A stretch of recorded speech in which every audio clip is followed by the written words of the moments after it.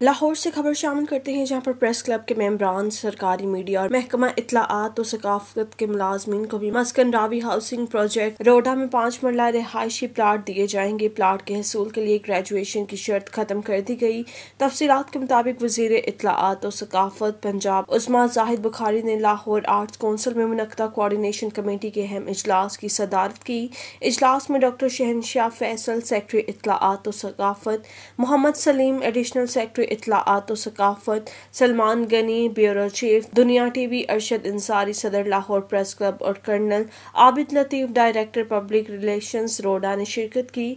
इस मौका पर इजहार ख्याल करते हुए सूबाई वज़ीर उजमा बुखारी ने कहा कि रावी अर्बन डेवलपमेंट अथॉरिटी के तहत न सिर्फ़ लाहौर प्रेस क्लब के मेंबर्स बल्कि महकमा इतलात और सकाफत बाशमूल डी जी पी आर के मुलाजमीन को भी प्लाट दिए जाएँगे, जिसके लिए मुलाजमीन का कोटा दस फ़ीसद मुख्त किया गया है।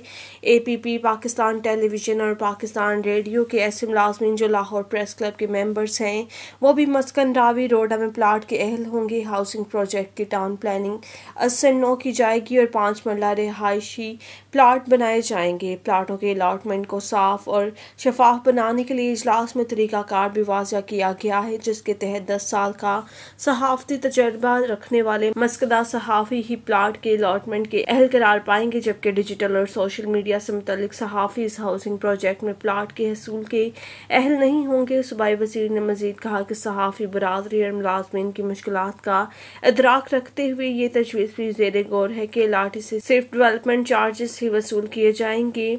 ऐसे सहाफ़ी जो लाहौर प्रेस क्लब के मेंबर्स नहीं हैं, वो पहले मस्कन रावी रोडा में अप्लाई नहीं कर सके थे। उनके लिए जल्द ही रोडा दोबारा इश्तहार जारी करेगा। वो लोग सात दिन के अंदर ही अपनी दरख्वास्त जमा करवा सकेंगे।